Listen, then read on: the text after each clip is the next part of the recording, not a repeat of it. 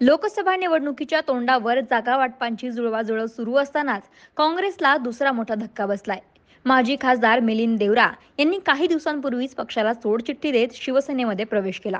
त्यानंतर मुंबईतील पक्षाचा मोठा चेहरा असलेले माजी मंत्री बाबा सिद्दीकी यांनी देखील काँग्रेसला रामराम ठोकलाय. तसं पाहिलं तर मागील काही दिवसांपासून बाबा सिद्दीकी आणि दिशांत सिद्दीकी हे पिता पुत्र काँग्रेसला सोडचिठ्ठी देणार असल्याची चर्चा सुरू होती. तसे संकेतही बाबा सिद्दीकी यांनी दिले होते. पण त्यांचे पुत्र झिसान सिद्दीकी यांनी आपण काँग्रेसमध्ये राहणार असल्याचं स्पष्ट केलं होतं. त्यानंतर बाबा सिद्दीकी यांनी आता ट्विट करून काँग्रेसच्या प्राथमिक सदस्यत्वाचा राजीनामा दिल्याचं जाहीर केलंय.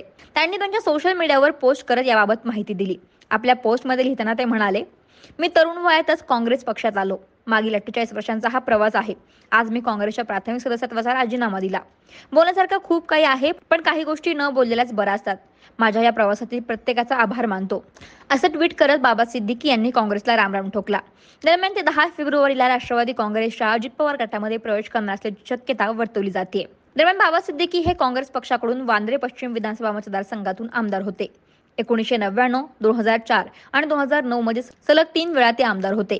याशिवाय त्यांनी अन्न व नागरी पुरवठा कामगार आणि एफडीए राज्यमंत्री म्हणून जबाबदारी सांभाळली दोन हजार ते दोन हजार चार दरम्यान ते मुंबई म्हाडा बोर्डाचे अध्यक्ष देखील राहिले. मुंबईतील वांद्रे आणि परिसरातील अल्पसंख्याक समुदायात सिद्दीकींना मानणारा मोठा वर्ग आहे.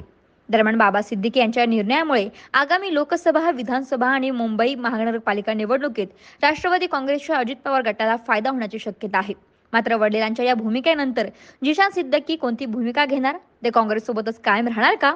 की वेगळा मार्ग निवडणार? हे पाहणं देखील तितकंच महत्त्वाचं ठरेल. तर या संपूर्ण राजकारणाविषयी तुम्हाला काय वाटतं आम्हाला कमेंट करून जरूर कळवा.